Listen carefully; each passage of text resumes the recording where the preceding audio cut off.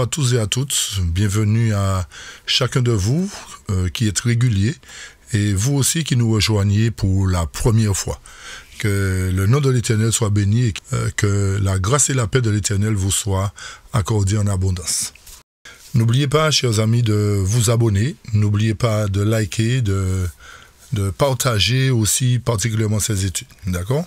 Aujourd'hui, notre étude sera particulière parce que nous aborderons d'abord un volet concernant les événements que nous vivons aujourd'hui, euh, les différents événements qui se mettent en place aussi, qui doivent se mettre en place aussi.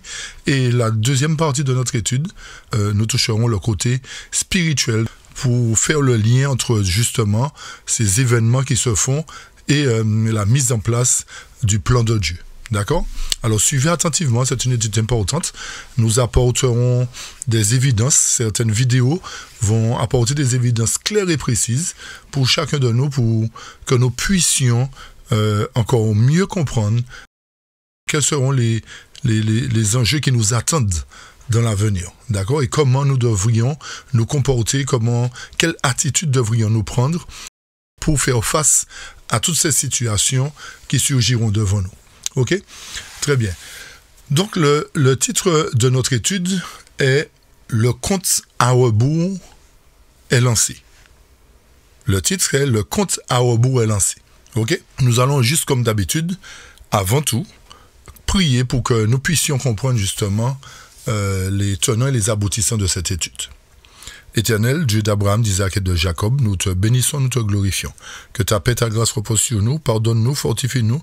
Bénis cette étude, tous ceux qui aussi qui auront à écouter, bénis-les et fortifie-nous tous, nous t'avons prié, nous te disons merci au nom de Jésus pour ta gloire. Amen. Amen.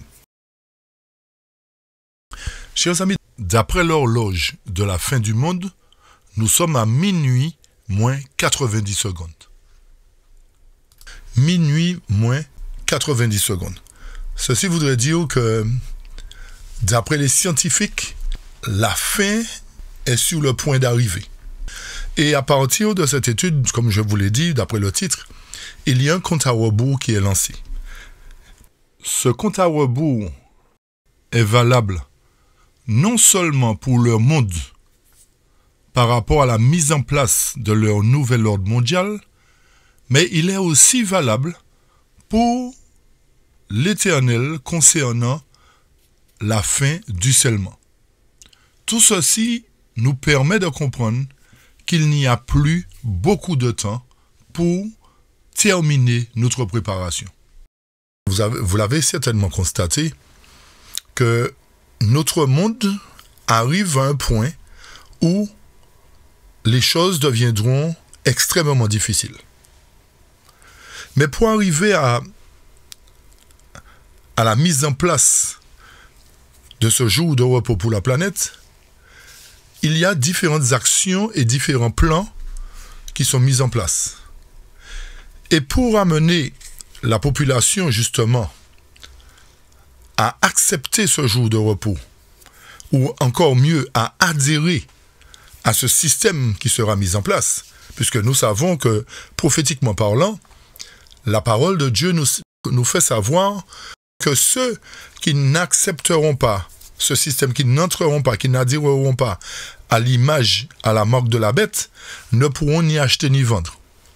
Donc, pour amener la population à adhérer d'une manière ou d'une autre à ce système, il y a un élément sur lequel ces responsables de gouvernement, ou encore mieux, ces oligarques, vont s'appuyer. Ils vont s'appuyer sur quelque chose de très important pour nous amener justement à nous plier, à accepter le plan qu'ils ont prévu pour nous, sans même nous consulter. Et ça, c'est déjà un gros défaut. Donc, le point important, c'est la peur. Ils vont jouer sur la peur, chers amis. Nous avons vécu certaines choses entre 2020 et 2021 qui étaient basées sur cette peur. OK? Peur de ne pas pouvoir sortir, peur d'être un mauvais citoyen, et aussi, ce sera basé aussi sur la peur de manquer d'eau et de nourriture. Puisque, vous le savez comme moi-même, de plus en plus, euh, euh, vous entendez parler de réchauffement climatique, de de famine, etc., de choses qui seront mises en place. Et la Bible nous confirme effectivement qu'il y aura la famine dans divers lieux, et etc., etc. Donc, le premier point pour amener la population à adhérer à ce nouvel ordre mondial, le premier point sera basé sur la peur, pour nous obliger à accepter. Le deuxième point sera basé sur la manière dont ils vont contrôler les individus. Donc, pour pouvoir contrôler les individus, il y a, il y a la monnaie numérique, puisque nous savons que tout sera numérisé maintenant. Vous ne pourrez pas acheter ou, vendre sans euh, qu'on le sache maintenant. Parce qu'avec le numérique, tout ce que vous ferez sera noté. Là où vous serez, ils sauront. Et quel que soit les, ce que vous achetez, ils le sauront. Pourquoi? Parce que ce sera numérisé. Et qui dit numérisé dit amener aussi le crédit social qui sera un moyen de contrôle des masses. D'accord? Contrôle des masses. Et tout ceci va passer par l'intelligence artificielle, les, armes biologiques, les passeports numériques, carte d'identité biométrique et comme j'ai dit tout à l'heure, la surveillance de masse. Donc, ce seront les moyens de contrôle que ces oligarques mettront en place aussi, mis à part la peur, pour contrôler les individus. OK? Donc ce sont des choses euh, sur lesquelles nous devons porter notre attention aujourd'hui et nous poser la question est-ce que nous serons en mesure de dire oui ou non euh, par rapport à telle ou telle situation? Donc tout ceci, comme j'ai dit, c'est pour amener le jour de repos pour la planète. Maintenant, rappelez-vous, chers amis, qu'en 2014, Christine Lagarde parlait de la numérologie. Elle était invitée à une réunion des clubs de la presse. Et dans cette réunion, elle parlait de numérologie. Elle parlait particulièrement du chiffre 7, qui était un chiffre important, non seulement euh, dans le domaine spirituel, mais aussi la Kabbale. Et elle disait qu'après 2014, que le monde serait entré dans cette année d'abondance. Et au courant de la même année, c'est-à-dire euh, elle a eu la réunion en janvier 2014, en novembre 2014, s'est réuni le sommet du G20 pour établir justement ce plan d'action, ce plan de remise à zéro, ce plan du, grand reset et du nouvel ordre mondial, de, du jour de repos pour la planète.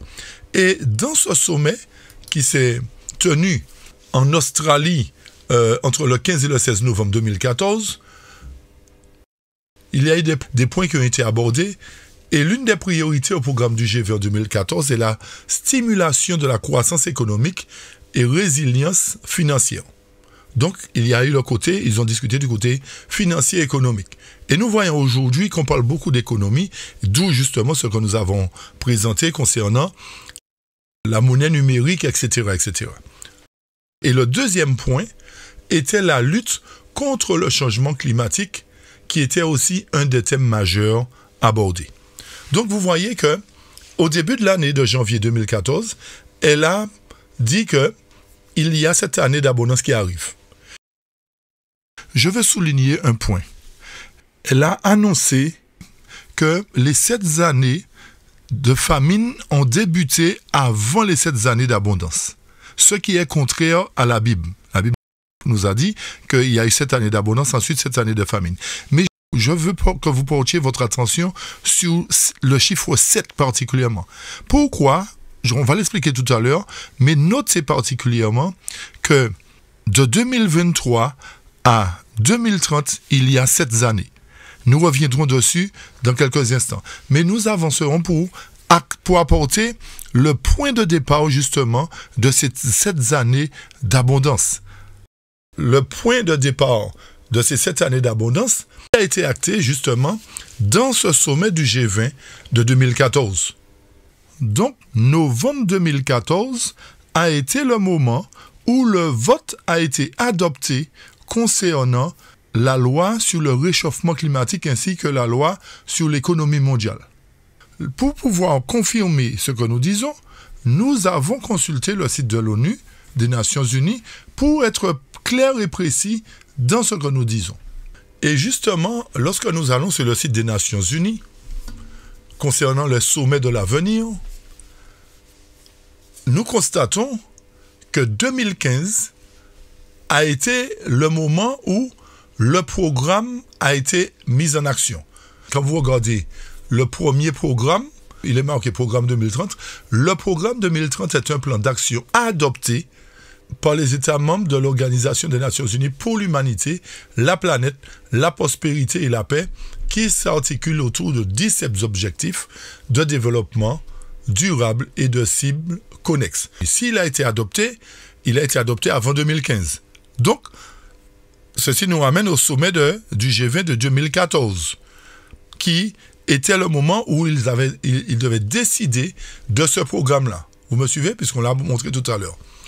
Donc, lorsque nous analysons bien, chers amis, nous voyons que à partir de 2015, l'activation du programme de 2030 est faite.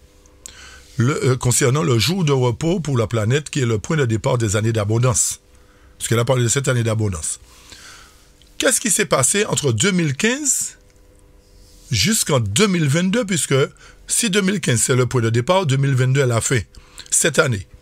Entre 2015 et 2022, il y a eu ce que vous savez qui s'est produit.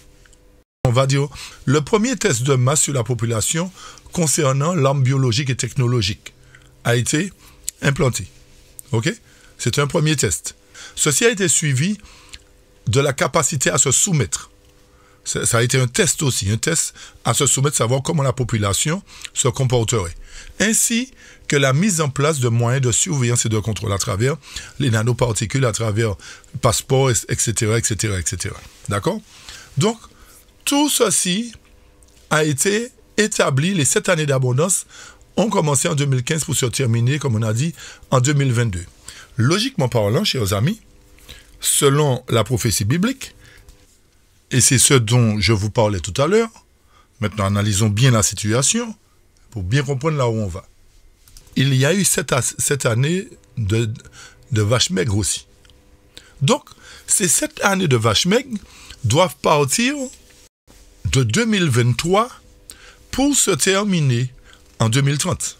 Jour de repos pour la planète. Vous me suivez? Donc, nous sommes en plein dans le début de cette année de famine. Qui dit cette année de famine dit cette année de difficulté. Cette année où les choses seront compliquées. Cette année où nous serons éprouvés, testés encore une nouvelle fois.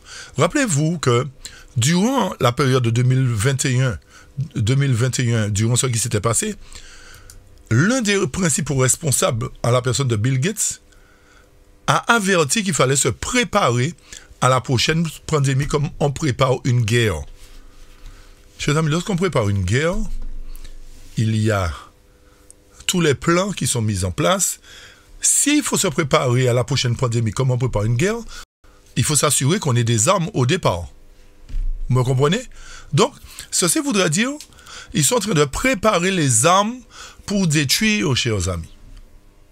Pour détruire, pour détruire qui? Vous vous rappelez des Guidestone qu'on avait présenté, Georgia Guidestone Il y avait dix lois sur les Georgia Guidestone et la première loi consistait à éradiquer une bonne partie de la population. Et rappelez-vous aussi particulièrement du responsable de notre gouvernement qui disait que nous sommes en guerre. OK? Tout ceci doit nous interpeller et nous amener à comprendre que si on se prépare, on doit se préparer déjà à la prochaine pandémie, comme on prépare une guerre, c'est qu'il faut des armes. Il y a des choses comme ça qui doivent euh, entrer en vigueur. Et il s'avère, comme par hasard, qu'il y a une nouvelle maladie qui est sortie, qui est appelée la maladie X ou encore la maladie de Marburg. Et cette maladie, dit-on, est plus mortelle que ceux qu'on a subis dernièrement. Vous voyez, chers amis, que tout est planifié dans le but de faire quoi? De faire le contraire de ce que Dieu a décidé. Dieu a dit quoi? C'est multiplier. L'ennemi ainsi que ses collaborateurs détruisent et prennent la vie. En résumé de tout cela, ceci nous prouve, chers amis, que nous devons nous attendre à des moments extrêmement durs et à travers ces moments, nous devons aussi prendre conscience qu'il y a le scellement qui est encore en cours. Nous reviendrons bien sûr dessus tout à l'heure. Mais il est aussi malheureux de constater que ces hommes, conduits par l'ennemi, ont une certaine rigueur dans leur plan. Ils ne dévient ni à droite ni à gauche. Tandis que nous, qui sommes appelés enfants de Dieu, nous ne sommes pas capables de tenir le plan que Dieu nous a donné. Nous nous laissons balloter à droite et à gauche selon la puissance du vent, selon les théories humaines, alors que ces hommes sont unis pour la mise en place de leur projet, nous, enfants de Dieu, sommes divisés à un point où l'Église perd de sa puissance.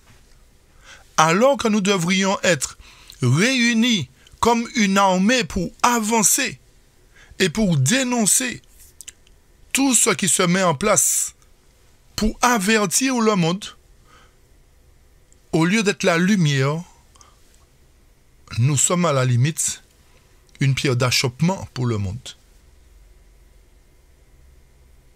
Il est malheureux de constater qu'aujourd'hui, nous attristons l'Éternel parce que nous ne tenons pas compte de son plan, de la feuille de route qu'il nous a prescrit. Chers amis, revenons au pied de l'Éternel et servons l'Éternel de tout notre cœur, comme ces hommes servent l'ennemi de tout leur cœur. N'oublions pas que nous vivons les dernières scènes de l'histoire du monde et que l'ennemi va se déchaîner sur nous pour nous amener dans la tombe sans être préparé, sans avoir reçu le sceau de Dieu. C'est pour cette raison qu'il utilise des hommes pour nous détruire.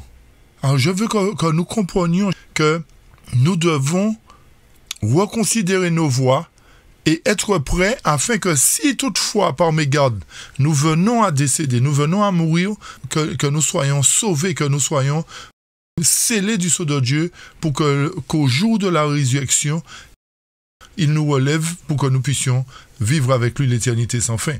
Je vais vous passer maintenant une séquence euh, vidéo concernant ce qu'on vient de dire par rapport à ce qu'on a vécu entre 2020 et 2021, c'est pour nous aider à, comprendre véritablement les enjeux ou, encore ce qu'il prépare concernant la future maladie qui arrive. OK? Portez une attention particulière et bon, ça, se passe dans commentaire en fait, hein, mais portez une attention particulière et ensuite nous poursuivrons euh, la suite de notre étude.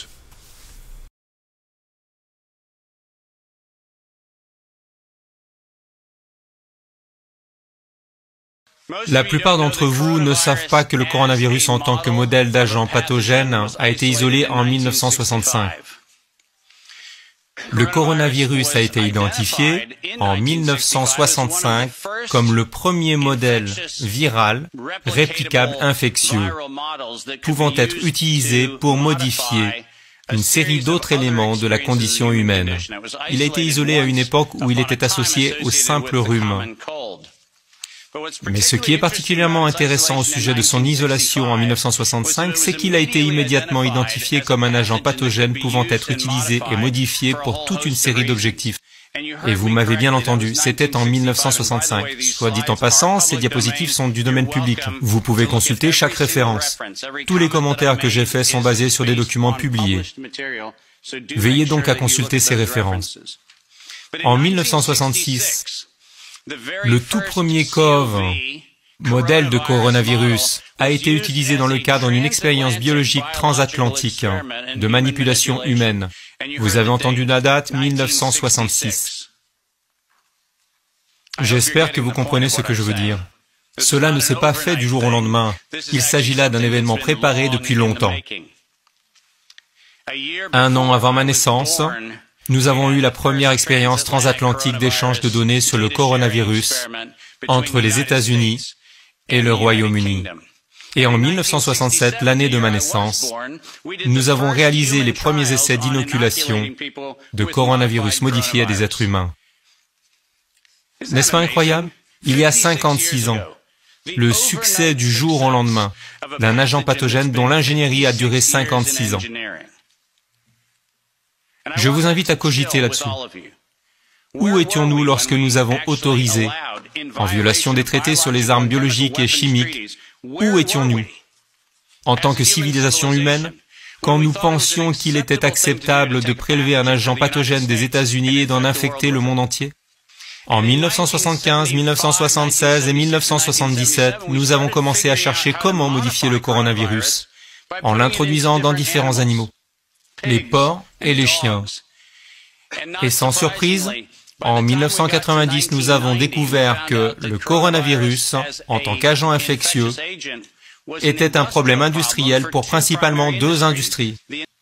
Les éleveurs de chiens et de porcs ont constaté que le coronavirus provoquait des problèmes gastro-intestinaux. C'est sur cette base que Pfizer a déposé le brevet du premier vaccin à base de protéines de pointe. Êtes-vous prêts Déposé en 1990. Avez-vous entendu ce que je viens de dire? 1990, opération Warp Speed. Je suis désolé. Où est la pression et la vitesse?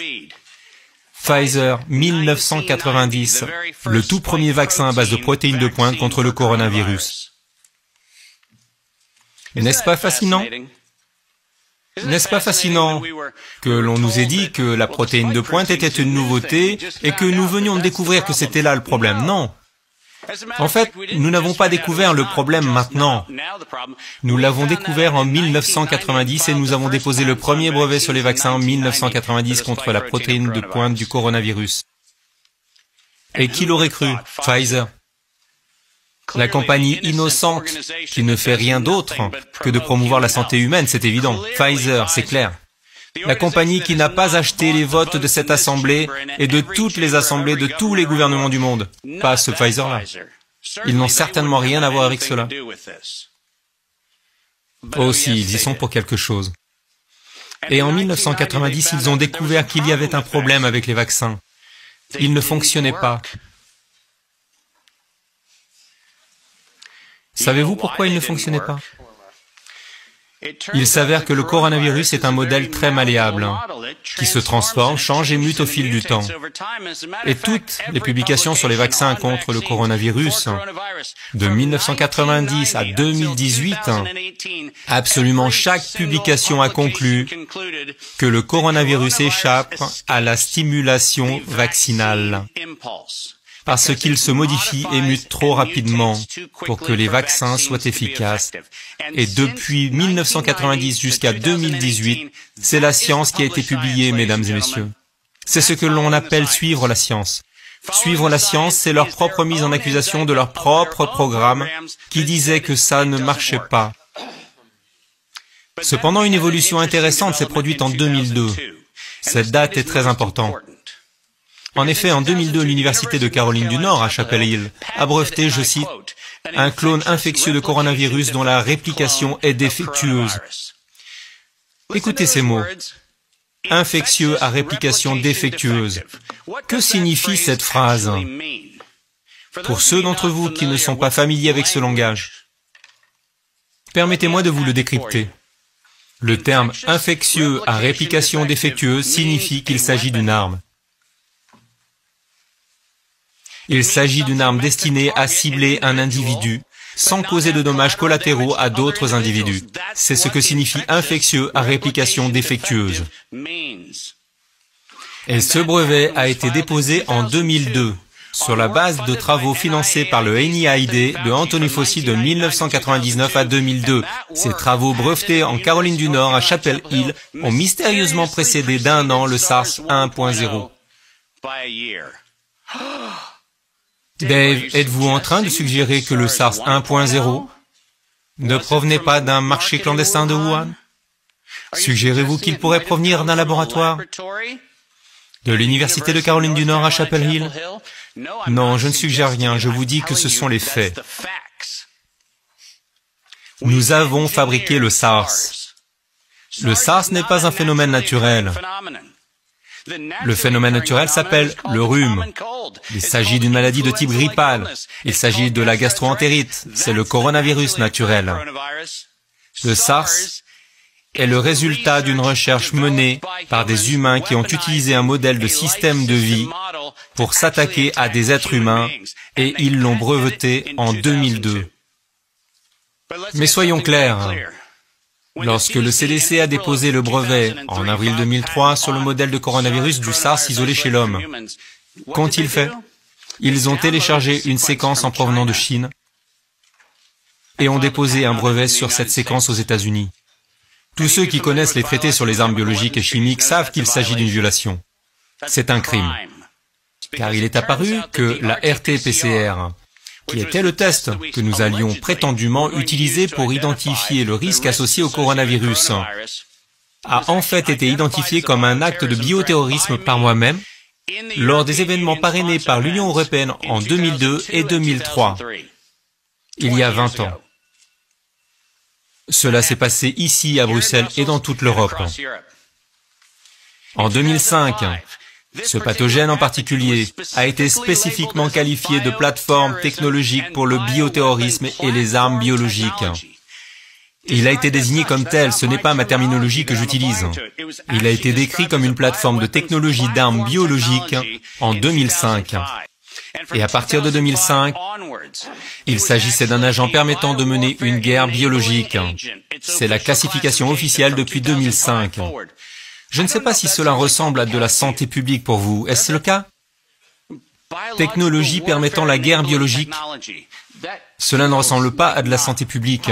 Cela ne ressemble pas à de la médecine. Cela fait penser à une arme conçu pour éliminer l'humanité. C'est ce que l'on comprend. Et ça ressemble à cela parce que c'est exactement ce que c'est. Comme par hasard à l'automne 2014, l'Université de Caroline du Nord, Chapel Hill, a reçu une lettre du NIAID disant que le moratoire sur le gain de fonction sur le coronavirus in vivo devait être suspendu. Mais comme leur subvention avait déjà été financée, ils ont reçu une exemption.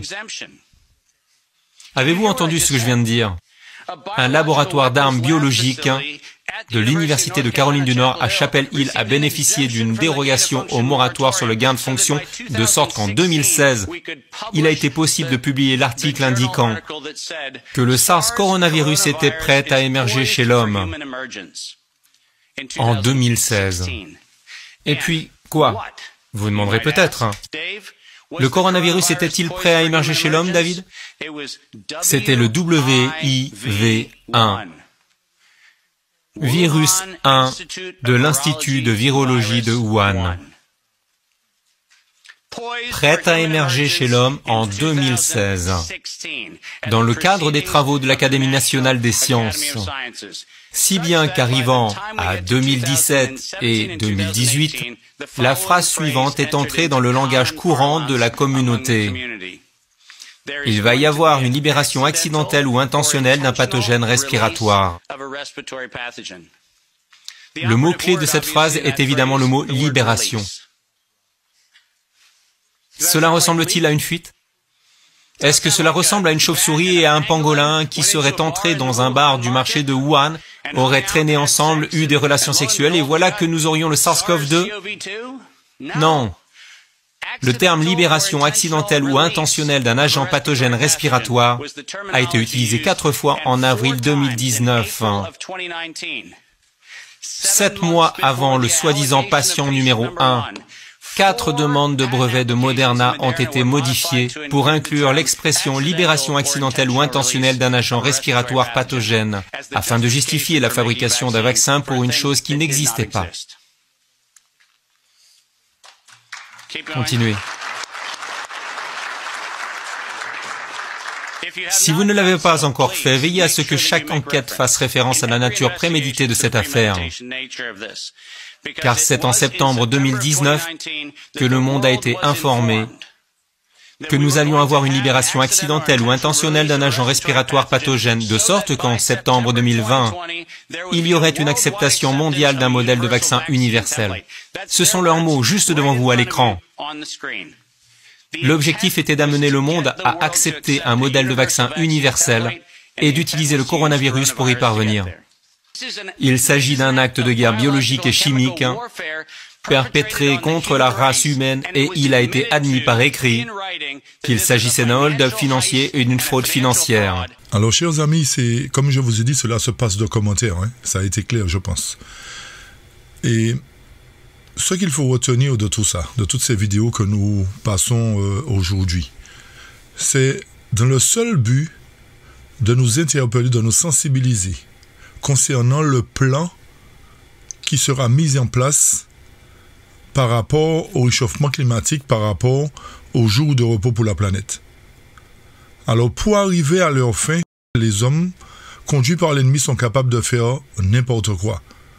Donc nous devrions demander à Dieu suffisamment de sagesse, d'intelligence, de discernement pour savoir comment faire dans l'avenir. Et le problème ne s'arrête pas là. Le problème va encore plus loin concernant justement, d'après le Nice Matin, des négociations à l'OMS sur un accord qui permettrait d'éviter les futures pandémies. Un accord international sur les préventions des pandémies et la préparation à celles-ci. Il y a eu des intervenants qui ont donné un témoignage concernant ce qui est en train de se tramer concernant l'OMS. Et cet autre problème que nous allons rencontrer très bientôt est le suivant. C'est que l'OMS est en train de s'accaparer un pouvoir qui va être le pouvoir souverain de décider à la place de toutes les nations et de tous les pays du monde toutes les mesures sanitaires. Vous avez bien compris ce que je dis, chers amis? C'est l'OMS qui va décider de toutes les mesures sanitaires désormais, très bientôt. Ceci voudrait dire que la nation peut décider d'une manière, mais c'est l'OMS qui aura le dernier mot. Vous avez compris? Et retenez bien que l'OMS est sous l'influence de celui qui veut à tout prix injecter tout le monde. Parce que c'est lui qui gère 80% du budget de l'OMS. Donc, comme je vous ai toujours dit, lorsque vous gérez quelque chose, lorsque vous financez quelque chose, vous avez l'autorité sur la chose. Écoutez ce, nouveau reportage, chers amis, qui se passe aussi de commentaires. Ce qui se passe cette semaine à l'OMS, c'est une prise de pouvoir de l'OMS, la tutelle sur les États, avec ce nouveau règlement sanitaire international qui compte 300 amendements et un deuxième accord, l'accord pandémique, le traité pandémique, qui, on va dire, chevauche beaucoup le règlement sanitaire international et qui surtout est une euh, attaque grave à la souveraineté des États et à la liberté individuelle des, personnes. C'est extrêmement grave, ainsi qu'aux droits humains. C'est vrai qu'il y a certains points qui sont vraiment très préoccupants. Euh, le fait que l'OMS va vraiment pouvoir poser, imposer ces mesures, euh, ces règles en fait au monde entier. Euh, et qu'il va y avoir aussi un organe de contrôle par rapport à euh, l'infodémie en fait, ce qui va pouvoir être dit au niveau des transferts d'informations. Donc la liberté d'expression aussi des médecins, ce qu'ils vont pouvoir dire ou pas. On a déjà vu qu'avec le Covid, ça a été compliqué d'avoir une prise de parole différente que celle des autorités de la DOXA. Donc avec un, tel accord, euh, on a de quoi être euh, inquiet en fait aussi par rapport au fait qu'il y a beaucoup de financiers privés euh, dans le cadre de l'OMS et que, comme par hasard, euh, ce sont des personnes qui sont en lien avec euh, tout ce qui est médicaments, vaccins, et, du coup, bah, l'OMS va être complètement pris par ses financeurs et il ne pourra plus défendre la santé de la population correctement. Donc vous voyez petit à petit que nous sommes pris dans un étau, chers amis. Nous sommes pris dans un étau où nous serons amenés à ne plus pouvoir nous défendre, plus pouvoir parler, plus pouvoir manifester, etc., etc. Et l'autre point sera basé sur l'empreinte carbone. Parce que vous entendez comme moi-même euh, qu'il y a trop de pollution, que la nature est polluée, c'est ce qui fait que la Terre se réchauffe davantage. Et tout ceci va provoquer justement la famine, des sécheresses, des inondations, etc., etc. Mais lorsque vous verrez ce reportage, j'espère que vous comprendrez mieux là où ces hommes veulent nous conduire, chers amis. Leur but sera de détruire toute alimentation sur Terre et nous donner à manger des criquets, des sauterelles, des choses de ce genre. Vous avez compris? Les aliments, les végétaux seront détruits lorsque ces hommes réduiront cette empreinte carbone. C'est pour vraiment amener cette famine sur Terre. OK?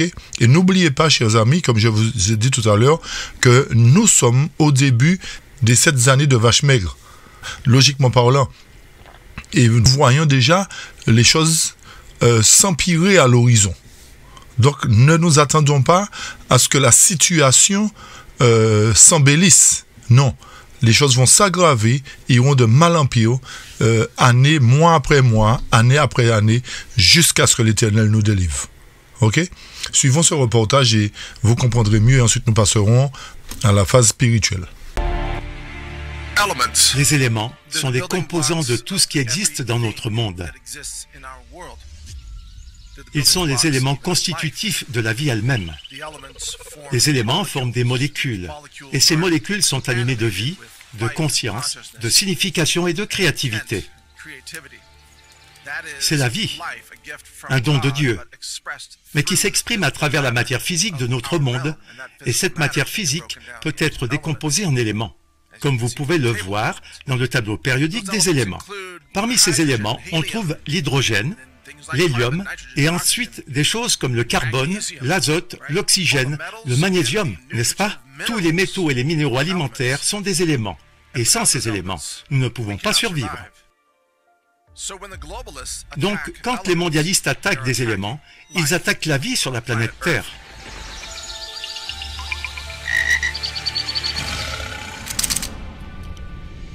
Bienvenue dans ce reportage vidéo spécial, la guerre des mondialistes contre les éléments de la vie.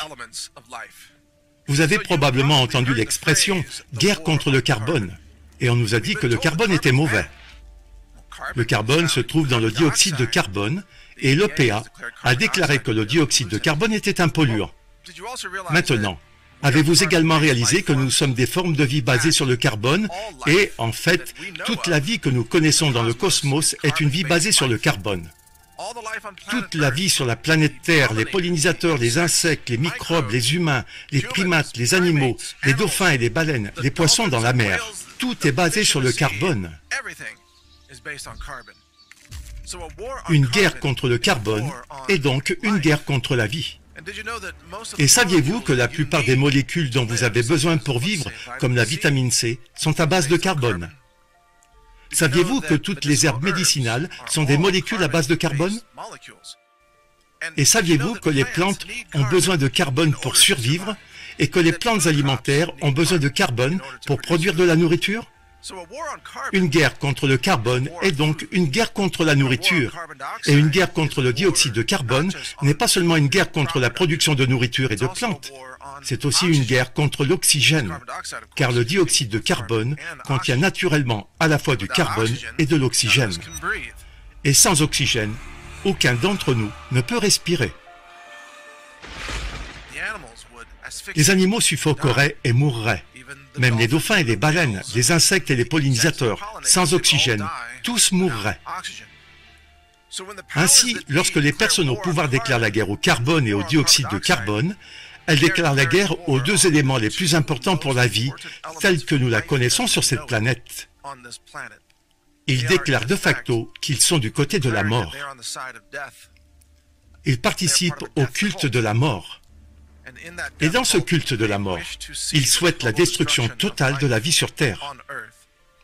Ils ont maintenant compris que le moyen le plus simple de provoquer une extinction de masse est de provoquer une famine de masse. Ils s'attaquent donc à l'approvisionnement alimentaire en essayant d'éliminer le dioxyde de carbone de l'atmosphère. Il s'agit d'une opération de terraformation, connue sous le nom de stockage du carbone. Ils ont de grosses machines qui aspirent le dioxyde de carbone de l'atmosphère et le transforment en liquide. Ils le pompent dans des pipelines et le stockent ensuite sous terre pour empêcher les plantes du monde entier d'avoir accès au CO2. Eh bien, pourquoi est-ce important? À cause de la photosynthèse.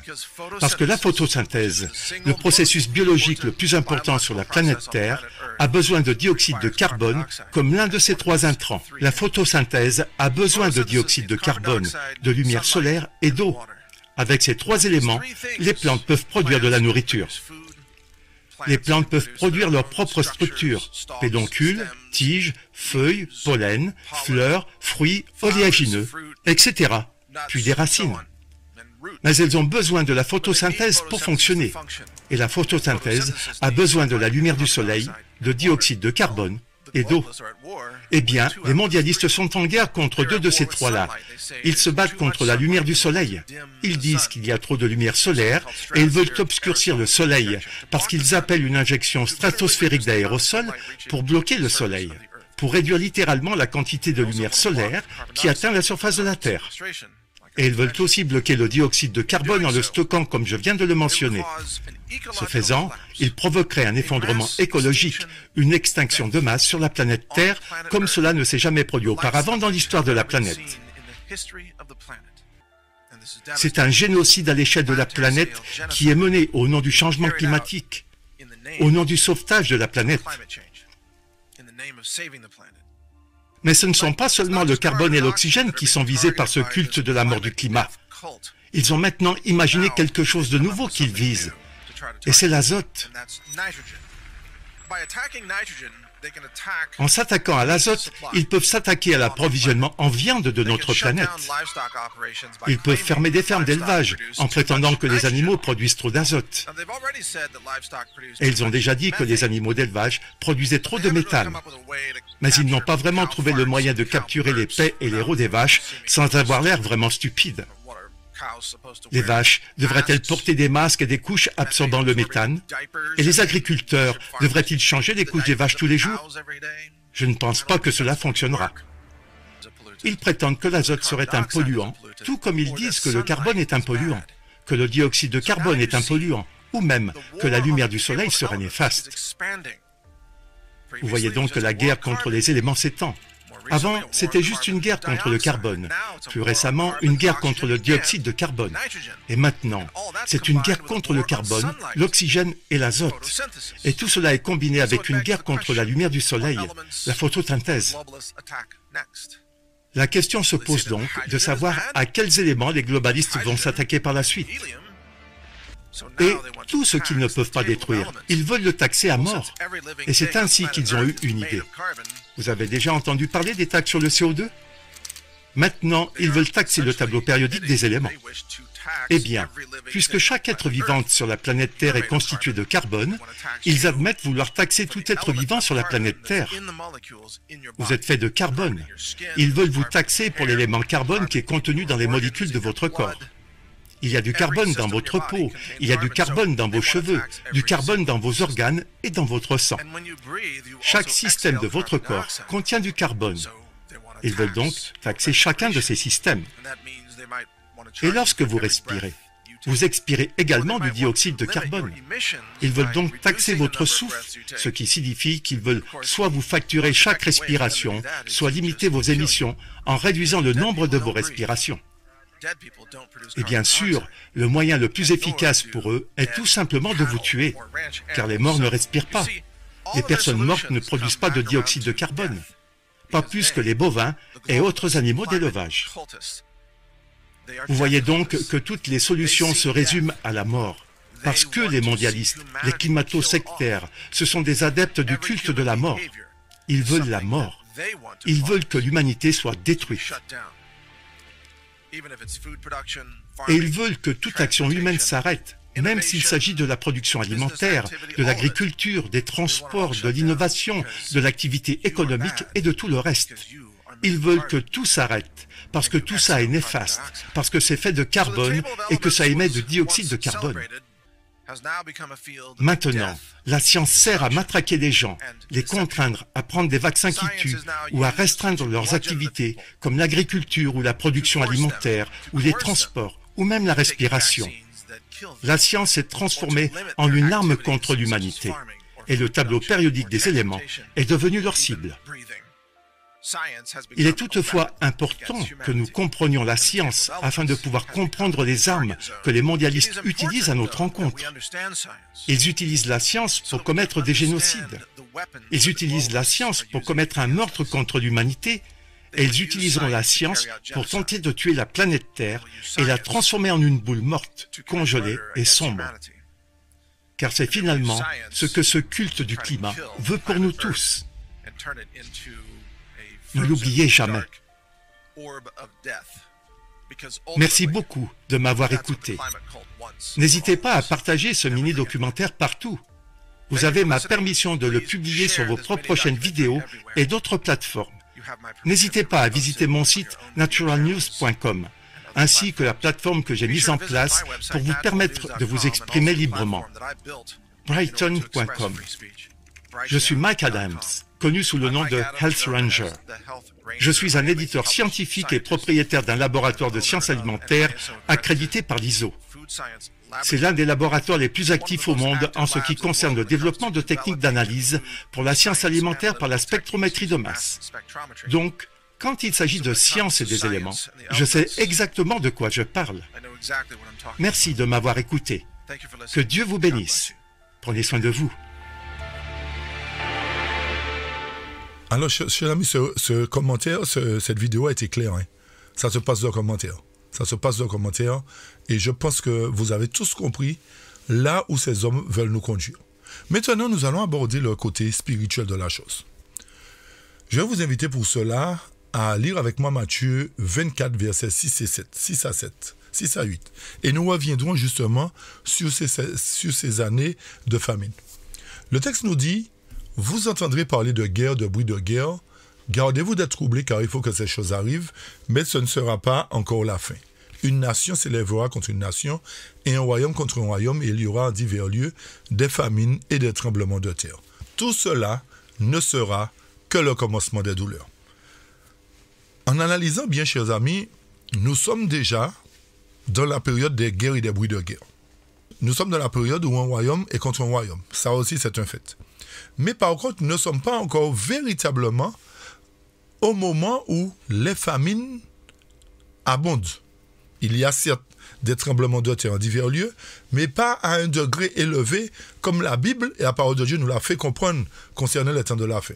Donc, nous devons nous attendre à une période de famine, à, à des périodes de famine et de tremblements de terre intenses. Mais notez bien que tout cela, c'est-à-dire guerre, bruit de guerre, famine, tremblement de terre, tout ceci ne sera que le commencement des douleurs. Et lorsque nous revenons dans ces sept années de, famine, chers amis, et que nous comparons, nous analysons la, la phrase tout cela sera que le commencement des douleurs, donc ces famines, ces bruits de guerre se passent ou vont se dérouler durant la période du commencement des douleurs pas lorsque la chose s'intensifiera, hein, mais durant la période du commencement des douleurs, la période qui précède le temps de détresse. Vous comprenez bien que qu'à partir de 2023 jusqu'à 2030, jusqu'à la mise en place de ce nouvel ordre mondial, certainement 2030 comme ils l'ont dit, nous serons dans le commencement des douleurs. C'est durant cette période que tous ces événements-là arrivent, continueront à, s'accroître, famine, tremblement de terre, bruit de guerre, etc., guerre. Donc, il y a aussi cet, aspect de, la guerre mondiale qui doit prendre place. Nous l'avions déjà signalé plus d'une fois, mais ça revient à chaque fois parce que ceci se trouve dans les événements qui doivent prendre place très, très bientôt. Donc, si tous ces événements se trouvent durant le commencement des douleurs, et que quand nous analysons bien, nous sommes entrés dans la première année de, cette année de famine, à l'issue de cette année de famine, les choses doivent s'amplifier, chers amis. OK? Tout ne, doit pas, ne va pas revenir à la normale. Les choses vont s'amplifier pour amener justement ce temps de détresse tel que personne n'a jamais vécu. Vous me suivez? Ceci voudrait dire quoi? Ceci voudrait dire que durant ces sept années et nous n'allons pas nous enfermer dans le temps non plus, dans cette année, parce que l'Éternel nous dit dans sa parole, chers amis, qu'il va abréger le temps pour que ses élus soient sauvés. Vous me suivez, chers amis? Si le temps n'était pas abrégé, ces élus ne seraient pas sauvés. Donc, nous ne devons pas nous enfermer non plus dans une période de temps et en disant, bon, eh ben, comme nous savons qu'il y a sept ans, eh bien, nous aurons le temps de faire telle ou telle chose. Non, chers amis, ne nous enfermons pas dans le temps, parce que l'Éternel peut précipiter les choses, comme les hommes aussi peuvent précipiter les choses. OK? Donc, quand nous revenons sur le sommet de l'avenir en 2024, il y a un point qui nous fait réfléchir euh, concernant le sommet sur les ODD en 2023, c'est-à-dire très bientôt, le 19 septembre 2023. Le, texte nous dit, marquant la mi-parcours de la mise en œuvre du programme 2030, le sommet sur les objectifs de développement durable en 2023 sera convoqué le 18 et 19 septembre 2023 pour marquer le début d'une nouvelle phase de progrès accéléré dans la réalisation des objectifs du développement durable. Donc, premièrement, 2023 comme nous l'avons dit, marque la mi-parcours de la mise en œuvre du programme 2030. Lorsqu'on parle de mi-parcours, ça revient cette année d'abondance et les sept années de famine. Vous avez compris? Donc nous sommes à la mi-parcours. Nous sommes maintenant dans l'autre moitié, c'est-à-dire les sept années de famine. OK? Mais il y a une réunion qui doit être convoquée, justement, pour faire quoi? Pour marquer le début d'une nouvelle phase de progrès accéléré. Pour faire quoi? Dans la réalisation des objectifs.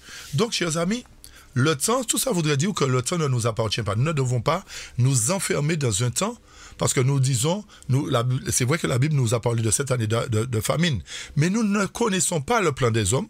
Nous ne savons pas qu'est-ce qu'ils vont mettre en place durant ces sept années, s'ils vont avancer leur agenda ou s'ils vont le reculer, s'ils vont le maintenir. Et comme je vous ai dit tout à l'heure, l'Éternel nous fait comprendre qu'il va abréger le temps par rapport aux élus. Vous me comprenez? Donc, ne nous enfermons pas dans ça. Ne nous enfermons pas dedans, mais sachant une chose, c'est qu'à partir de 2023, comme nous l'avions annoncé, les événements catastrophiques vont se succéder. Les choses difficiles vont se succéder. Mais qu'est-ce que nous devons comprendre à travers ce que je dis? Ce que nous devons comprendre, chers amis, c'est que durant ce temps qu'il nous reste, et nous ne savons pas combien, comme j'ai dit, ne nous, ne nous enfermons pas dans la prophétie, ce temps doit être euh, utilisé pour la fin de notre préparation. C'est-à-dire quoi? Que nous devrions nous poser la question, est-ce qu'il y a quelque chose dans ma vie qui ne convient pas à Dieu? Est-ce que les choix que je fais aujourd'hui conviennent à Dieu? Est-ce que les décisions que je prends aujourd'hui conviennent à Dieu? OK?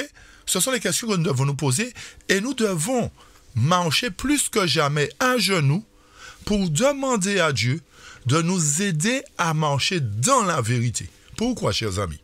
Parce qu'aujourd'hui, beaucoup d'entre nous suivons tout et n'importe quoi. Pour quelle raison encore? Parce que les responsables ont trahi leur mission. Les responsables n'ont pas donné la nourriture autant convenable. Donc les brebis ont eu faim et ont été chercher à manger ailleurs. D'où justement le fait que la dernière église particulièrement est sur le point de s'émietter. Elle a déjà commencé à s'émietter. Il y a différentes euh, choses qui, sont, qui ont pris naissance dernièrement basées sur des théories humaines, chers amis. Aujourd'hui, nous suivons telle ou telle personne parce que on a déclaré que Jésus est noir. Chers amis, même si Jésus est jaune, blanc, rouge, noir, peu importe, Jésus reste Jésus. L'éternel reste l'éternel. Alors donc, nous faisons des religions par rapport, à tout vent de doctrine que nous entendons aujourd'hui. Nous entendons Jésus n'est pas Dieu, nous tombons dedans, nous faisons une religion. Chers amis, ceux qui subsisteront dans les derniers temps sont ceux qui marcheront selon il est écrit. Pas selon les tendances humaines. Parce que de plus en plus, il y a des tendances humaines qui sont présentées et comme nous avons faim et soif de nourriture, nous acceptons n'importe quelle alimentation, n'importe quel aliment avarié qui vont nous éloigner et nous empêcher d'atteindre ce scellement que Dieu a fixé. Vous comprenez ce que je veux dire, chers amis? Et c'est pour cette raison que je dis que nous devons marcher à genoux, en toute humilité, et dire, Seigneur, je veux être sauvé. Je veux que tu me montres si la chose dans laquelle je suis, c'est la vérité ou pas. Montre-moi, s'il te plaît, je, parce que je veux être sauvé, je ne veux pas être perdu. Lorsque nous ferons ces prières de cœur sincère, chers amis, l'Éternel va enlever les écailles de nos yeux et va nous aider à marcher dans toute la vérité. Vous comprenez? Mais malheureusement, la prophétie ne peut pas mentir quand même, chers amis. Quand vous avez l'exemple des dix vierges, il y a cinq qui ont été perdus, cinq qui sont perdus et cinq qui sont sauvés. Ceci voudrait dire que il y a des gens qui ne se poseront jamais la question, mais est-ce que ce dans lequel je crois, c'est la vérité? Vous comprenez, chers amis? Nous devons, en tant qu'individus, nous poser la question à chaque fois, est-ce que ce en qui, en quoi je crois, est la vérité? Tout chacun devrions nous poser la question et non incriminer les autres en pensant que nous avons la vérité, que les autres n'ont pas la vérité. Vous me suivez? C'est la démarche de tout homme aujourd'hui, durant cette période de crise qui a commencé à partir de 2023 et qui va s'étendre. C'est durant ce moment que l'Éternel nous amène, veut nous amener à prendre conscience de notre état pour que nous puissions changer. Et je reviens sur Matthieu 24, verset 8. Tout cela, chers amis, ne sera que le commencement des douleurs. Suite à cela, les choses seront difficiles. C'est-à-dire que nous entrerons dans ce temps de détresse. Terrible. Et ce n'est pas durant le temps de détresse que nous aurons l'opportunité de changer. Parce qu'il sera trop tard. Écoutez ce que le passage de l'esprit de prophétie nous dit dans la tragédie des siècles à la page 676 au chapitre 39. Écoutez attentivement. Le texte nous dit que Satan redouble de colère. Et c'est pendant le temps de détresse. À quel moment? Et c'est pendant le temps de détresse. Quoi? Qu'est-ce qui va se faire? Que son œuvre de séduction et de destruction parviendra à son point culminant. Vous avez compris? C'est pendant le temps de détresse que Satan va redoubler de colère à travers son œuvre de séduction et de destruction qui parviendront à un point culminant. Donc, si c'est pendant ce temps de détresse-là que Satan redouble de colère, et que son œuvre de destruction parviendra à son point culminant, vous pensez bien que ce n'est pas en période de guerre que vous allez vous préparer. Donc, c'est en période de paix que nous devons faire les préparatifs. Puisque c'est pendant le temps de détresse qu'il amplifie ses actions. Ceci nous amène à comprendre que ce n'est pas dans cette période de crise que nous aurons à nous préparer ou à décider si nous acceptons la marque ou l'image de la bête. Quand je dis nous, nous devons comprendre, je répète, je le dis encore une fois de plus dans cette étude, nous devons comprendre qu'il y a deux groupes du peuple de Dieu. Un groupe qui va provenir de, la dernière église qui observe le sabbat. Et un autre groupe qui proviendra du monde qui ne connaît pas le sabbat. Vous me suivez? Donc, la préparation pour ceux qui observent le sabbat et dans le but d'être scellé doit se faire avant le temps de détresse, durant la période du commencement des douleurs. avant que les choses ne s'amplifient, nous avons encore une opportunité. Le texte poursuit nous dit des phénomènes d'ordre surnaturel apparaîtront bientôt dans le ciel qui prouveront la puissance miraculeuse des démons. C'est à ce moment-là que le spiritisme va prendre plus d'ampleur. Nous comprenons, chers amis, que à travers l'intelligence artificielle, à travers le plan ARP, le plan Bluebeam, et à travers les hologrammes, etc., c'est à ce moment-là, justement, que nous verrons des choses apparaître dans le ciel, nous verrons les puissances miraculeuses des démons, nous verrons des choses de ce genre se produire. Vous me suivez? Puisque, n'oubliez pas, chers amis, que, que, c'est par les États-Unis que les choses arriveront. Satan a, à la même mise sur les États-Unis aujourd'hui, pour les amener justement à séduire la population à travers le faux prophète, à travers le protestantisme apostat et à travers les, les différentes euh, euh, qu'ils ont mises en place, comme j'ai dit, à travers le projet A, projet Bluebeam, etc. D'accord? Donc, le texte positif nous dit, les esprits malins se rendront auprès des rois et auprès de tous les habitants de la terre pour les séduire et les engager à unir leur force à celle de Satan dans sa lutte suprême contre quoi, chers amis? Contre le gouvernement de Dieu. Est-ce que vous pensez, analysons un moment, est-ce que vous pensez que ce gouvernement de Dieu-là, qui est cité dans le ciel, que ça va se passer? C'est-à-dire, est-ce que ce combat-là qui sera mené sera mené contre le gouvernement de Dieu qui est dans le ciel? Les hommes ne peuvent même pas atteindre différentes planètes, différentes galaxies. Vous pensez que c'est contre le ciel qu'ils vont se battre directement, chers amis? Analysons bien la situation.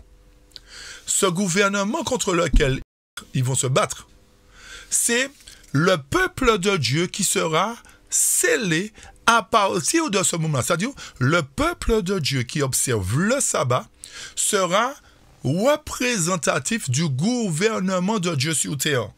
Comme Dieu avait établi un gouvernement à travers les apôtres pour mettre la vérité en pratique, ça a échoué par rapport à la persécution, l'Éternel établira pour la fin son gouvernement avec 144 000 personnes fidèles qui seront à même de faire éclater la gloire de Dieu à travers ce monde corrompu.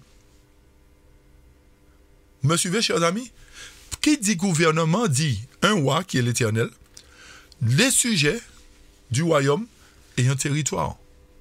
Vous me suivez, chers amis Donc, L'ennemi va utiliser des puissances miraculeuses pour s'engager pour sa lutte suprême contre le gouvernement de Dieu, contre ceux que l'Éternel aura établis pour faire éclater sa gloire, pour manifester sa puissance. C'est-à-dire que l'Éternel utilisera un peuple particulier et dira que ce peuple-là, c'est moi, c'est moi qui prends la direction de ce peuple-là et c'est moi qui conduis. Et le texte poursuit nous dit, c'est ainsi, vous le comprendrez un peu plus clairement tout à l'heure, c'est ainsi que peuple et souverain seront ensorcelés des personnages s'élèveront qui se donneront pour le Christ et se réclameront des titres et du culte qui reviennent au Rédempteur du monde. Ils opéreront des guérisons et prétendront être porteurs de révélations célestes. Donc, chers amis, nous devons nous attendre à ce que des personnages aussi s'élèvent qui se donneront pour le Christ. À travers quoi j'ai dit? Blue Beam, hologramme, etc. Et Justement, c'est pour cette raison qu'ils ont mis en place la 5G et plus ils vont renforcer avec la 6G. C'est-à-dire que le flux vidéo et audio, il n'y aura pas de retard dedans.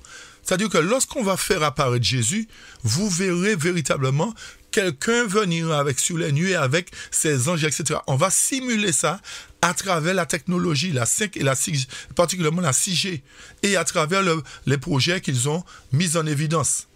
Me suivez, chers amis? Et c'est pour cette raison qu'il nous faut comprendre.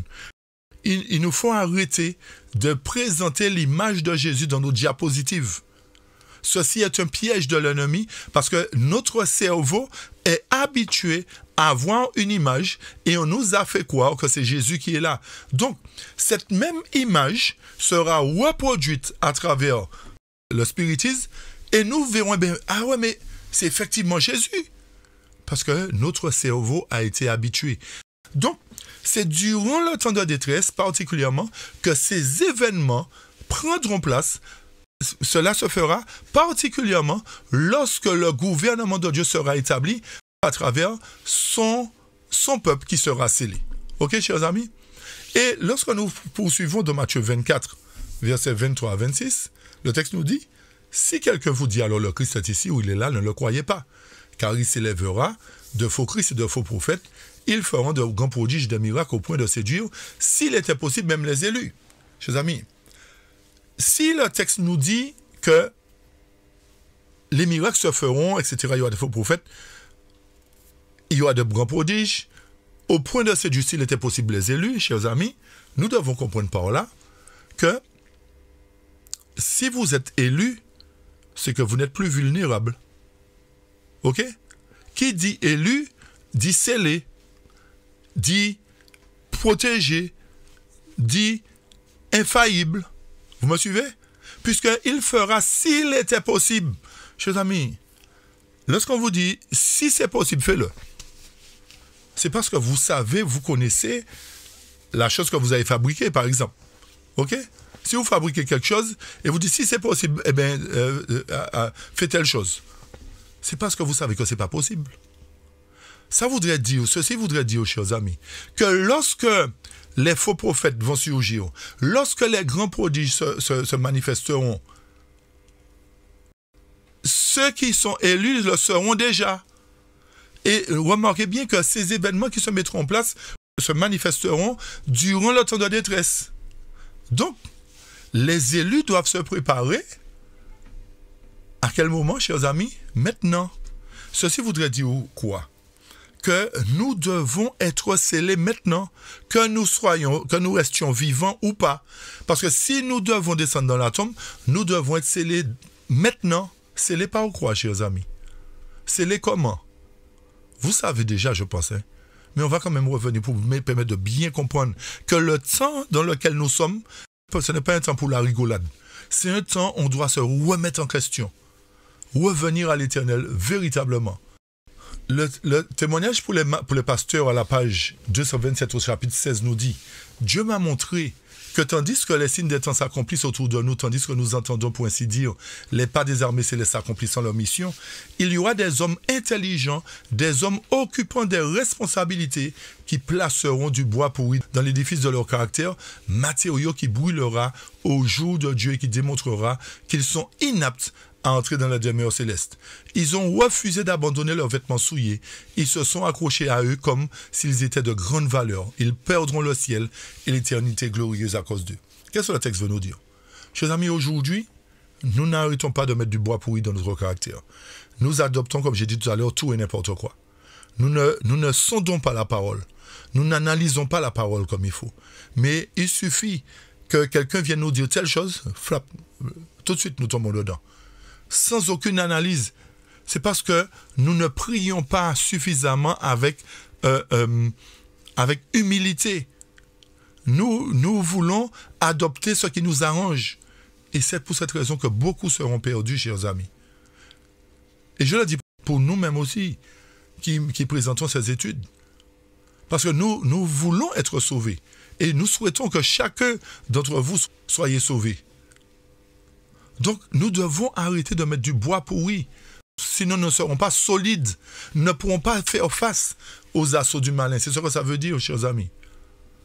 Et lorsque nous poursuivons, nous allons dans Événements des derniers jours, paragraphe 963. Le texte nous dit, alors sera venu pour nous le temps de faire complètement confiance à Dieu et il nous soutiendra. Vous avez compris, chers amis? C'est-à-dire à partir du temps de détresse, si nous n'avons pas mis notre confiance en Dieu avant, il sera trop tard. Et lorsque nous analysons, chers amis, nous comparons notre situation à celle des, jeunes Hébreux à Babylone.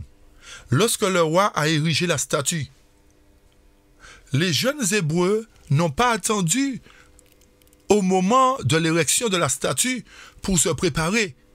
Ils ont eu une préparation en amont. Ils n'ont pas attendu de réformer leur vie, de changer leur alimentation.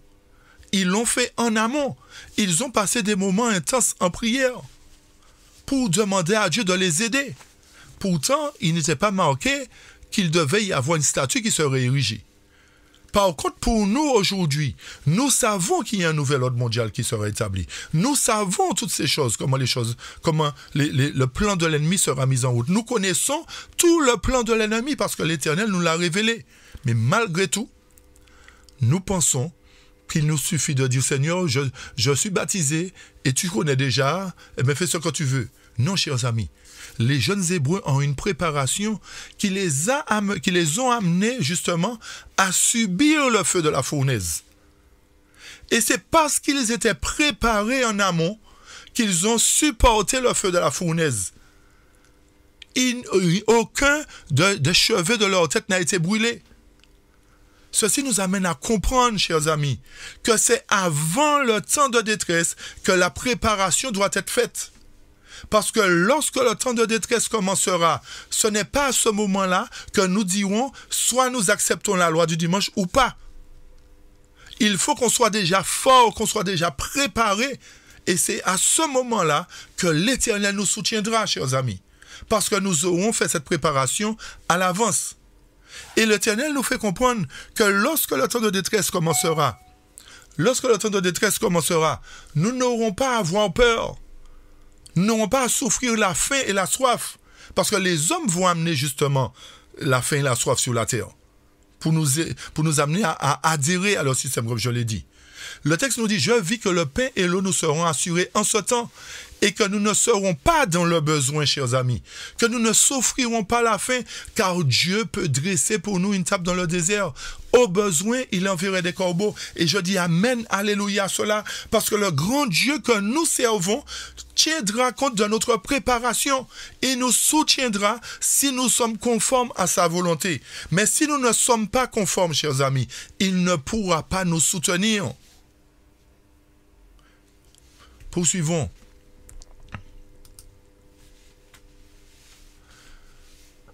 Les saints non plus ne perdront pas la vie comparativement à beaucoup qui pensent que les saints vont se cacher, vont fuir, etc. ça n'appartient pas au premier groupe du peuple de Dieu, chers amis. Ça appartient au second groupe du peuple de Dieu de fuir dans les montagnes, de se cacher. Le peuple de Dieu, rappelez-vous, sera une armée belle comme la lune, pure comme le soleil et terrible comme des soldats. OK? Le texte du paragraphe 959 nous dit Dieu ne permettra pas que les réprouvés détruisent ceux qui attendent leur enlèvement et qui n'acceptent pas de s'incliner devant le décret de la bête ou de recevoir sa mort. J'ai vu que s'il était permis aux impies de tuer les saints, Satan et tous ses mauvais anges ainsi que ceux qui haïssent Dieu s'en réjouiraient. Auquel triomphe ce serait pour la majesté satanique de pouvoir exercer sa puissance pendant la lutte finale, c'est-à-dire pendant le temps de détresse, pendant le moment où la mort de la bête sera établie sur ceux qui ont si longtemps attendu de pouvoir contempler celui qu'ils aiment. Ceux qui ont réalisé de l'enlèvement des saints seront témoins des soins de Dieu pour son peuple et ils contempleront sa gloire, sa glorieuse délivrance. Chers amis, il nous faut être scellés maintenant. Il nous faut être prêts pour le scellement. Et en quoi consiste le scellement? Nous le répétons encore. Le scellement consiste à, à accepter la vérité, pas l'erreur. Éphésiens 1.13 nous dit en qui vous aussi vous êtes confiés après avoir entendu la parole de vérité, l'évangile de votre salut, en qui aussi après avoir cru vous avez été scellés du Saint-Esprit de la promesse. Chers amis, beaucoup peuvent prendre la parole et nous induire en erreur. Beaucoup peuvent interpréter la parole à leur manière et c'est ce qui se fait aujourd'hui. Et, et amène le peuple à les suivre. Chers amis, c'est la loi et les témoignages. Celui qui utilise la loi seulement, il n'utilise pas les témoignages, n'est pas digne de l'Éternel. Vous ne devez pas le suivre. Et même aussi, il y a de ceux qui suivent les deux, mais qui tordent le sens des Écritures.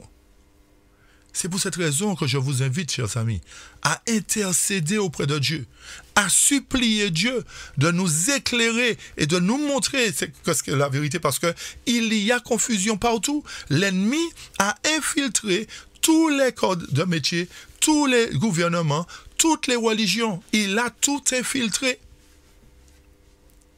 À tel point que le bras droit du, responsable de, de, la communauté que nous avons est un jésuite. Le conseiller, plus précisément. Le conseiller est un jésuite. Alors imaginez les conseils qu'il donne. Imaginez les conseils qu'il donne. Et il n'est pas le seul à l'intérieur là, en tant que jésuite. Imaginez les doctrines qui ont été tordues depuis la, mort des pionniers. Et ces gens-là ont étudié, ont infiltré, depuis la création de ce, de ce mouvement, ils l'ont infiltré. Rappelez-vous de l'histoire de Kellogg's, chers amis. Pour ceux qui ne connaissent pas, cherchez. Allez chercher l'histoire de Kellogg's. Il y avait toujours un homme vêtu de noir avec lui. Cherchez, vous comprendrez, chers amis, que c'est depuis le début que l'ennemi a infiltré. C'est pour cette raison que la servante du Seigneur, du Seigneur disait que nous ne pouvons pas faire n'importe quoi. Et lorsque les hommes n'obéissaient pas, pour ceux qui connaissent l'histoire, sanatorium a pris feu. École a pris feu. Vous comprenez, chers amis? Et même les pompiers qui étaient là à l'époque ont dit, ce feu-là n'est pas un feu normal. C'est Dieu qui a mis le feu lui-même. Parce que c'est impossible qu'un tel feu puisse, euh, agir comme ça. Donc, chers amis, l'Éternel sait que son œuvre a été infiltrée. Il sait ce qui est fait aujourd'hui pour, pour faire que différentes personnes euh, émergent et disent, voilà, il y a telle chose que nous devons comprendre, nous n'avons pas compris comme ça. Il faut adhérer à ci, il faut adhérer à ça, il faut adhérer maintenant à Dieu est noir, il faut adhérer à toutes sortes de choses. Chers amis, peu importe la couleur de Dieu, comme j'ai dit, la parole reste la parole. Et demandons à Dieu de nous sauver. Donc, c'est la vérité, chers amis, qui va nous affranchir. C'est la vérité qui va nous affranchir. Le témoignage volume 1, page 459, nous parle de la réforme de l'état de l'Église. Une réforme est absolument nécessaire au sein du peuple de Dieu, dont l'état actuel est tel qu'on se demande si l'Église, pas les églises, hein, mais si l'Église, c'est-à-dire la dernière Église, représente vraiment celui qui a donné sa vie pour elle. Vous avez compris, chers amis? L'état actuel de l'Église laisse à se demander si cette Église-là représente vraiment Dieu. Et c'est une réalité à travers ce que nous avons montré dernièrement. Le trans, vous, voyez ce que veut dire? Ce qui a été introduit. Non seulement ça, nos jeunes aujourd'hui ne comprennent pas les choses parce qu'ils ne sont pas instruits. Nos jeunes vont dans des boîtes de nuit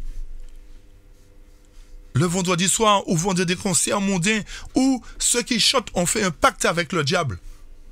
Et ils se permettent de venir faire chanter l'assemblée le sabbat matin. Chers amis, n'est-ce pas une abomination encore? N'est-ce pas une malédiction que nous attirons sur l'Église encore?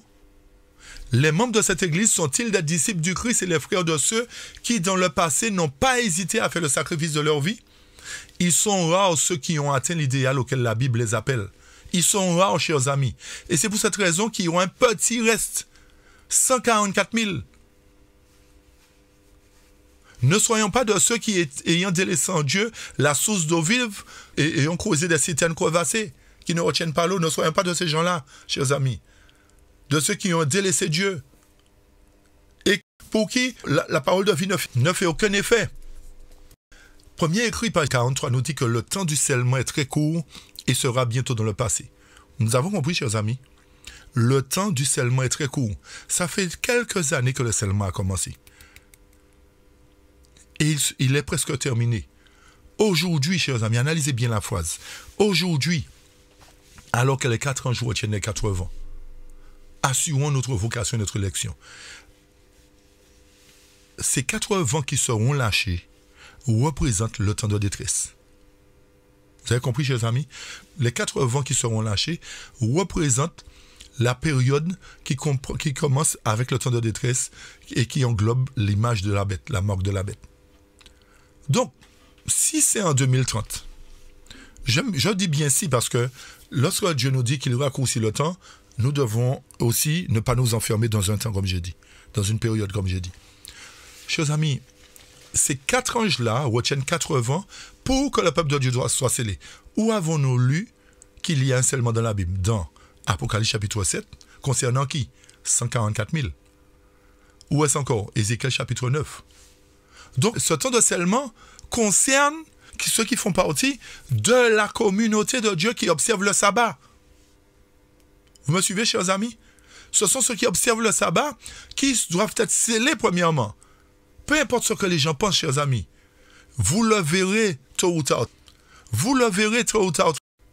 Donc, ces voix-là sont retenus pour notre scellement, pour que nous assurions notre vocation notre élection.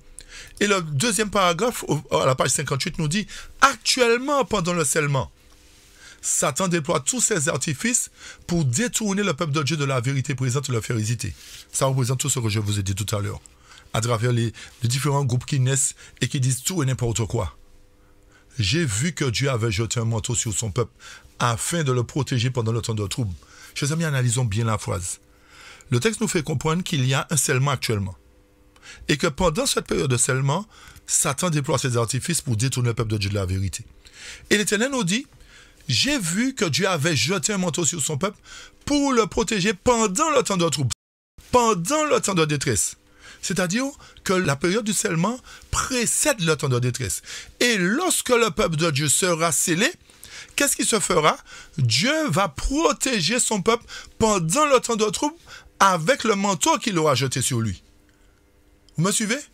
Je reprends, j'ai vu que Dieu avait jeté un manteau sur son peuple afin de le protéger pendant le temps de trouble et que toute âme qui a accepté la vérité et dont le cœur est pur sera couverte par le manteau du Tout-Puissant. Donc, chers amis, il nous faut être scellés d'abord si nous voulons que l'Éternel mette son manteau sur nous pour nous protéger du temps de détresse. temps de détresse. Ceci confirme encore, chers amis, que le peuple de Dieu n'aura pas à subir le temps de détresse comme le monde aura à le subir. Le premier groupe du peuple de Dieu, autrement dit, les 144 000, n'auront pas à subir le temps de détresse ni la persécution comme le monde aura à, subir cette persécution. Parce que il sera scellé premièrement et l'Éternel va le protéger. Et témoignage pour l'Église, volume 1, qui est un texte très important, nous permet encore de comprendre cela plus clairement. Le vrai peuple de Dieu, chers amis, c'est qu'il y a un faux peuple de Dieu. Le vrai peuple de Dieu, qui a à cœur l'œuvre du Seigneur et le salut des âmes, considérera toujours le péché dans sa terrible réalité.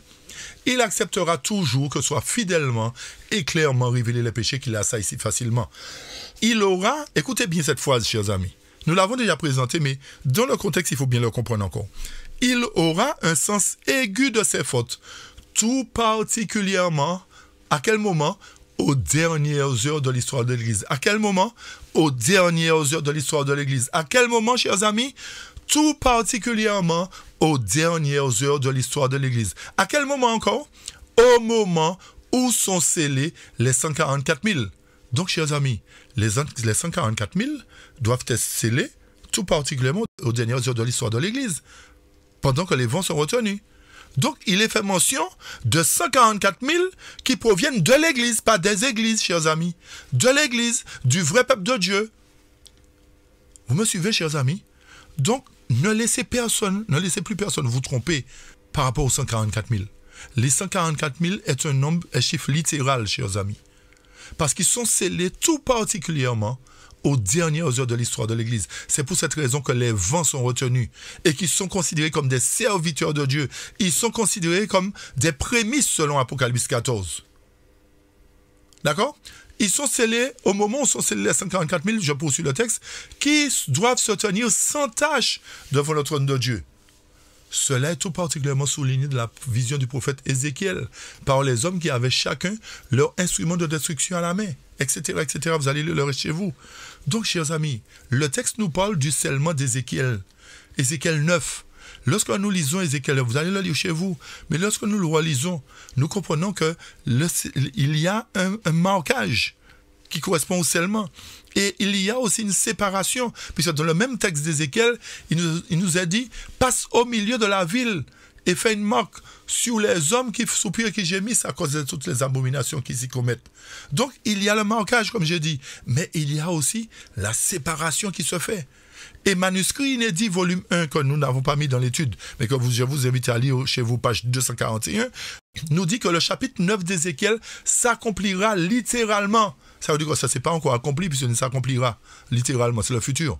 Donc, c'est durant ce scellement, durant ce marquage, que seront scellés les 144 000, que l'ivraie et le bon grain seront séparés, que les dix vierges seront séparées. C'est durant ce moment, chers amis, durant cette période de scellement, actuellement. Actuellement. Et on marquait bien ceci, nous dit, euh, toujours témoignage pour l'Église, volume 1. Les enfants de Dieu qui reçoivent la marque de la vérité écrite en eux par la puissance du Saint-Esprit ce que nous avons lu dans Éphésiens. C'est l'œuvre accomplie par l'homme vêtu de lin. Sont ceux qui soupirent et qui gémissent à cause de toutes les abominations qui se commettent où est-ce Dans l'Église, pas dans le monde, chers amis. C'est dans l'Église que sont scellés les 144 000.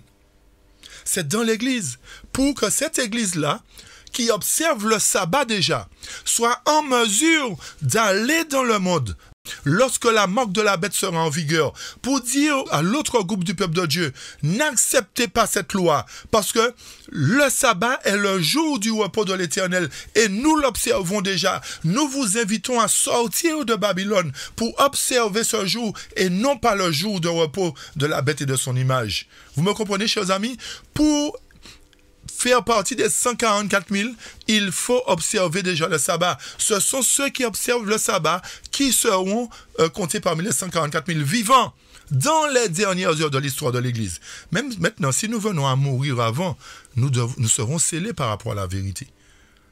Vous comprenez, chers amis? Parce que vous comprenez bien qu'il n'y aura pas que 144 000 sauvés. Parce que jusqu'à présent, il y a des gens qui n'ont pas encore compris qu'il n'y aura pas que 144 000 sauvés seulement chers amis, les 144 000 proviendront de l'Église qui soupire et qui gémit à cause des abominations qui se commettent en son sein. Et c'est cette église-là qui observe déjà le sabbat qui sera à même d'aller dans le monde pour appeler le, le, reste du peuple de Dieu à sortir de Babylone. Donc, encore une fois, vous comprenez que nous ne pouvons pas faire partie de la grande foule. Ceux qui observent le, sabbat ne peuvent pas faire partie de la grande foule. Me suivez, chers amis? C'est deux groupes distincts. C'est deux groupes distincts. Chers amis, pour terminer, la parole de Dieu nous aide à comprendre que nous devons vraiment faire volte-face avec le mal. Nous devons revenir au pied de l'Éternel. Nous devons tout abandonner au pied de l'Éternel si nous voulons être sauvés. Le temps ne nous appartient pas. C'est vrai que nous entrons dans les sept années de famine. Et l'Éternel aussi, retenez bien que le l'Éternel a dit qu'il abrège le temps. Il abrège le temps. Nous ne savons pas comment les choses vont se passer. Le rouleau de la vérité se déroule progressivement sous nos yeux. Mais soyons prêts. Témoignage volume 2, page 73 nous dit, ici nous remarquons que l'Église, le sanctuaire du Seigneur, chers amis, le sanctuaire du Seigneur est l'Église qu'il a choisi. Même s'il y a des problèmes en son sein, comme je vous ai dit précédemment. Mais c'est l'Éternel, il se tient au milieu de cette chandelier. Il dirige jusqu'au bout. C'est lui qui contrôle. Il est capable de laisser faire pour voir jusqu'où ça arrive pour que lorsqu'il se lève, que personne ne puisse dire je n'ai pas eu le temps de me, préparer. Il nous accorde le temps. Il nous dit ici nous remarquons que l'Église, le sanctuaire du Seigneur sera la première à éprouver les effets de la colère de Dieu. Ça veut dire quoi, chers amis? La colère de Dieu, ça veut dire quoi? Ça veut dire que l'Éternel va frapper son peuple premièrement, avant la loi du dimanche. Il va frapper son peuple. Il va détruire ceux qui sont en abomination devant lui. De même qu'il a détruit Akan, qui empêchait la prospérité du peuple de Dieu. Il détruira tous les Akan dans l'Église. Même si nous sommes dans différents groupes à droite à gauche, nous pensons que nous serons épargnés. Tous ceux qui ont fait alliance par le baptême avec l'Éternel seront jugés dignes ou coupables. Que vous soyez rebaptisés ou pas, lorsque l'Éternel va passer dans son sanctuaire, pour manifester sa colère. Tous ceux qui n'ont pas fait, qui se sont détournés de sa parole, pour suivre des doctrines de démons, pour suivre l'abomination, seront détruits. En commençant par les anciens, chers amis. C'est pour cette raison que je lance un appel aux anciens. Et je demande aux anciens de prêcher la vérité, pas l'erreur. De suivre, il est écrit, pas les théories humaines. Les anciens, ceux à qui il a donné une grande lumière et qui ont pour devoir de veiller sur les intérêts spirituels de la communauté, ont trahi leur mission. Chers anciens, il est temps de vous réveiller. Il est temps de, vous sauver, de sauver vos familles et de sauver ce que l'Éternel vous a confié. Ils ont prétendu qu'on ne devrait point s'attendre à voir des miracles et des manifestations signalées de la puissance de Dieu, comme au temps de la primitive Église. Les temps ont changé de style. Les temps ont changé de style. Chers amis, l'Église, le sanctuaire du Seigneur, sera la première à éprouver les effets de sa colère. Parce qu'il a donné suffisamment de temps pour qu'on soit scellé. N'attendons pas que la mort de la bête arrive pour savoir si nous serons à même d'accepter ou pas. La décision du premier groupe du peuple de Dieu se fera avant, à travers le scellement. Et chers amis, comme j'ai dit, nous n'avons pas à craindre. Parce que peu importe ce qui arrivera, peu importe les lois qui seront mises en place, peu importe la, la dureté des choses, peu importe les situations difficiles qui arriveront devant nous, mais l'Éternel nous a dit qu'il est notre lumière notre salut. De qui aurons-nous crainte? L'Éternel est le soutien de ma vie, de qui aurais-je peur? Quand des méchants s'avancent contre moi, quand le World Economic Forum s'avancera contre moi, quand la marque du dimanche avancera contre moi, les nations s'avanceront devant moi pour dévorer ma chair, ce sont mes persécuteurs et mes ennemis qui chancellent les tombes. Parce que je serai scellé déjà, chers amis. Nous serons scellés lorsque les, les, temps difficiles arriveront, nous serons scellés. L'Éternel sera notre soutien. Si une armée se campait contre moi, mon cœur n'aura aucune crainte. Pourquoi David dit ça, chers amis? C'est parce qu'il sait que Pour que l'Éternel nous, sauve, nous délivre, il faut qu'on soit en conformité avec lui. Si une guerre s'élevait contre moi, je serais malgré cela plein de confiance. Chers amis, mettons notre confiance en Dieu aujourd'hui. Mais pour que notre confiance soit absolue, arrêtons de vivre dans le péché. Arrêtons de calomnier. Arrêtons de critiquer. Nous sommes prompts à cela. Il est temps d'arrêter tout cela. Sinon, lorsque le malheur arrivera, nous n'aurons pas la protection du Seigneur. Et c'est parce que nous serons scellés qu'il sera pour nous un refuge et un appui, selon le psaume 46. Un secours qui ne manque jamais dans la détresse. C'est pourquoi nous sommes sans crainte quand la terre est bouleversée et que les montagnes chancellent au cœur des mers, quand les flots de la mer mugissent et écument, se soulèvent jusqu'à faire trembler les montagnes. L'Éternel des est avec nous et je dis Amen, Alléluia. Le Dieu de Jacob sera pour nous une haute retraite lorsque le temps de détresse sera accompli parce que nous serons scellés. Chers amis, plaise à Dieu que nous puissions revenir à, ses pieds. Plaise à Dieu que nous puissions nous humilier devant lui, intercéder beaucoup plus devant lui et lui demander de nous conduire dans la vérité. Parce que c'est la vérité qui va nous sauver, chers amis. Vous connaîtrez la vérité et la vérité vous affranchira, vous, vous rendra libre. Seule la vérité va nous permettre de tenir bon. Seule la vérité va expulser l'erreur de l'âme. Seule la vérité va ôter de nous ce mauvais caractère. Seule la vérité pourra le faire si aujourd'hui nous ne, nous plongeons pas dans la loi et les témoignages, ne pourrons pas être protégés par le manteau de Tout-Puissant. Que l'Éternel nous aide, chers amis, à comprendre et à mettre en pratique la vérité. Car le peu de temps qui nous reste, car le temps qui nous reste est très court, il sera bientôt dans le passé. Que l'Éternel vous aide et vous bénisse. Amen.